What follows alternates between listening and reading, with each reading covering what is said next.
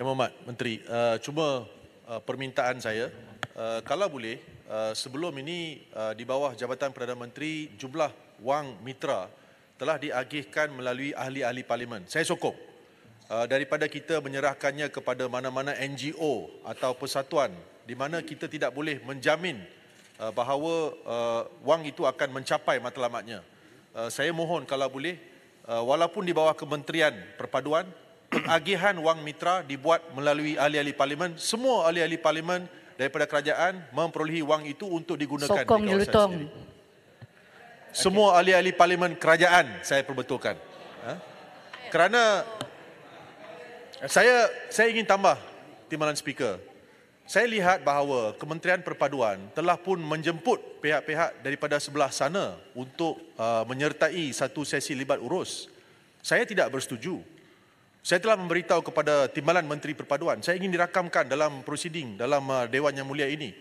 Kita lihat bahawa uh, saya sebagai ahli parlimen kerajaan tidak menyokong jemputan yang dikeluarkan kepada ahli-ahli parlimen pembangkang, terutamanya Pagoh.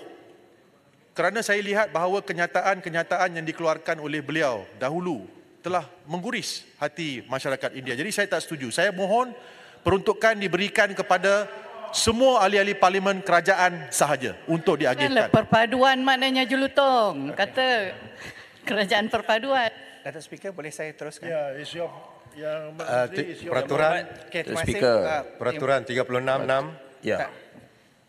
Saya nak sebut benda yang sama, sila yang mana Saya sebut, saya sebut. 366 tadi Jelutong sebut Pagoh menguris kenyataan uh, kenyataan Pagoh menguris masyarakat India. Itu sangkaan jahat Datuk Speaker. Minta dia tarik balik. Terima kasih. 36 diam. Okey, berhormat. sebelum sebelum saya buat keputusan yang lain duk Ustaz. Bagi satu-satu lah. Ya, yang Alustra dah bangkitkan tu. Bahagian mana yang berhormat menyatakan tadi bahawa bahawa Jultong apa tadi? Ya, Jelutong sebut tadi Pagoh sebelum ini dalam satu kenyataannya menyakitkan hati kaum India.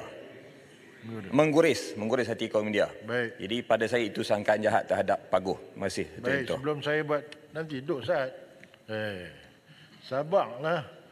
Ustaz, duduk. Okey, yang berhormat uh, to your defense. Yang berhormat Julutong ada apa-apa nak cakap?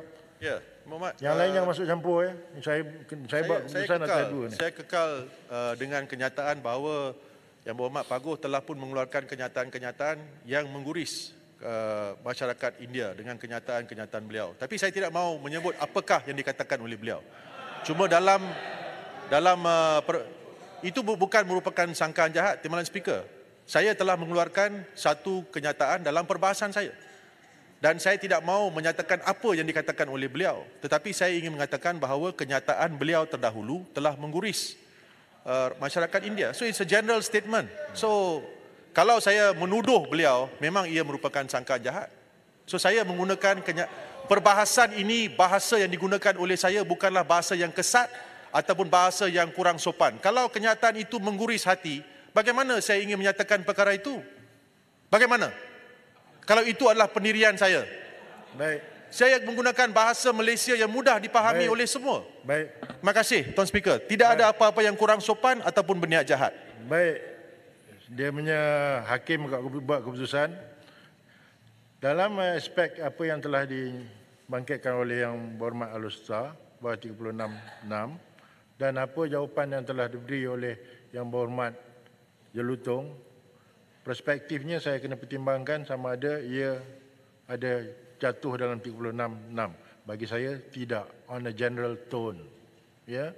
Kalau spesifik uh, sumpamanya Pago telah menyatakan orang India bodoh lah apa semua. Dan nampak jelas ini on a general.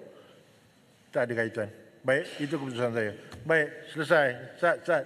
Lani pendang pula. Dah jadi hakim pula aku. Boleh. Sekejap. sekejap. Uh, Tuan Ketua, ya. kalau begitu apa yang uh, Jelutong maksudkan dan boleh, apakah kita juga boleh cakap uh, ramai orang Melayu terguris hati apabila Jelutong cakap benda yang bukan-bukan?